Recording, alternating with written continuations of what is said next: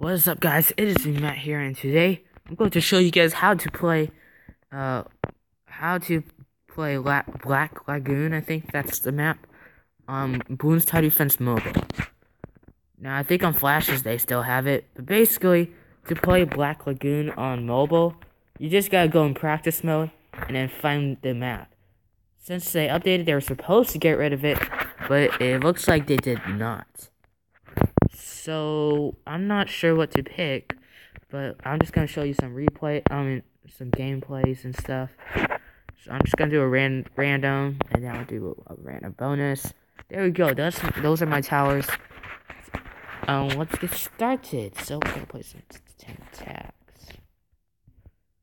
I don't know where they go though, so I'm just gonna place them right here.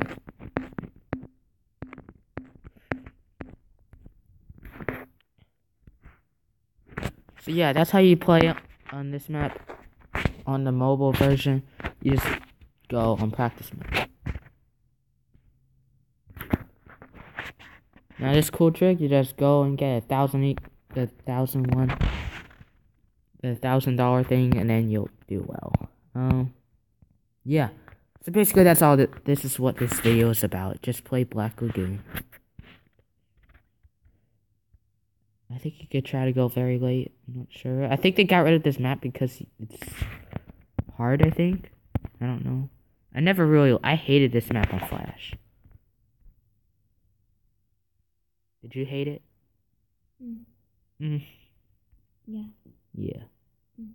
Mm. Yeah. Yeah. So thank you guys for watching. I hope you guys enjoyed. That's just it. I just wanted to show you guys this cool thing.